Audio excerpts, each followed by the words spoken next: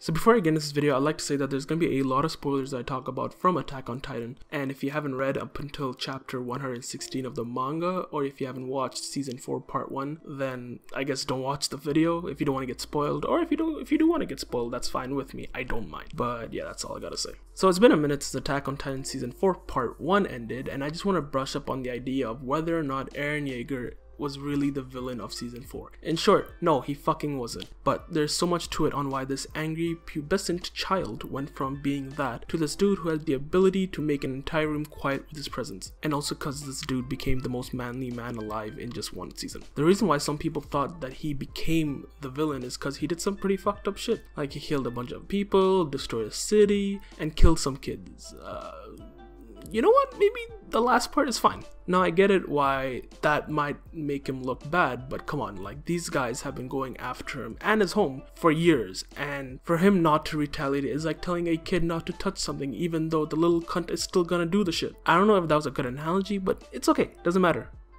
Or maybe it does, I don't know. Fucking leave me alone. The main reason that pushed him to that point was because of all the Titan memories that were messing with his head and basically drove him to a point where he just needed to get rid of Titans completely. And yes, this child has been saying from the first day his mom died that he will get rid of all Titans, but this is just basically completely wiping out the idea of Titans. And to do that, he needs to get rid of an entire race, which I guess is fine? Yeah? Yeah? No? Yes? Okay. See though, he's not completely in the wrong for wanting to do that since that is quite literally the only way for this whole war to end between Paradise Island and the rest of the world since it would just keep happening on repeat. Just like how I keep wanting to put I Want It That Way by the Backstreet Boys on repeat all day every day and you can't tell me that that song doesn't fucking slap.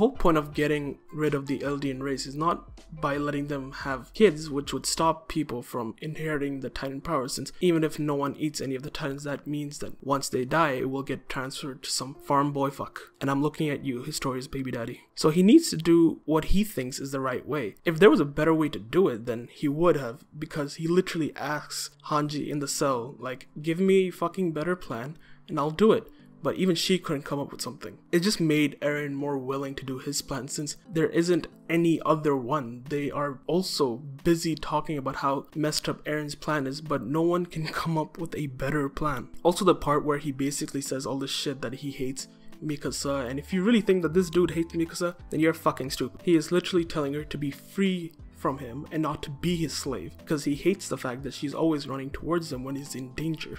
That's the point of him flaming her in that scene. But also him beating up Armin was kind of fun. I do get it though why a lot of characters have lost their trust in him. He basically forced them to come save him since every time he needs to be saved from someone, someone or the other dies. Like there's no stopping that. Though most of the time even though it's not even the dude's fault. Like he's just very good at getting kidnapped. I wouldn't be surprised if he just magically developed Stockholm syndrome for getting kidnapped since it's happened so many fucking times. I don't understand where this narrative came in that he isn't the protagonist of the anime anymore. Like, yeah, he still is, but not every protagonist is a good person. Like, they don't do all good shit. Have you seen Light Yagami? He's a walking poster boy for being a protagonist who kills people. That doesn't change the fact that he isn't the protagonist anymore. Like, is that so hard to understand? I'm pretty sure what Isayama was doing here is that he wanted people to second guess or even make you feel that you can't decide on side you should be on since they're both bad. Though, if you aren't on Eren's side, I pity you, because if you expect me not to root for Aaron after spending 8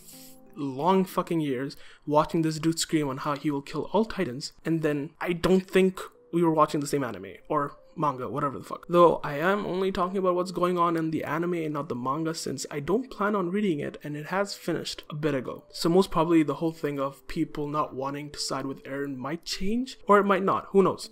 There's still heaps of time until part 2 comes out and when that does happen I think people might just begin to side with him again or they might not. I don't know. I don't know what's what happens in the rest of the story because I feel like with all that shit that he has done like with Mikasa will be given a reasoning. What I felt though from this entire first part of the season was Eren just doing his own shit and not caring what others have to say since what he's doing will essentially protect them from getting killed or just a war happening which I mean then again he is having a war but you get it. And the reason why I'm not talking about what's going on in the manga is because I don't read the manga, like I said before, and I don't plan on reading it because I just want to watch the anime. That's what I've started with, and that's what I'll end with. And yeah, so I mean, that's all I gotta say, guys. Uh, thank you for watching this video. Please leave a like, and I will see you next time. Peace. Mama said if I keep living like this, I'ma die too young.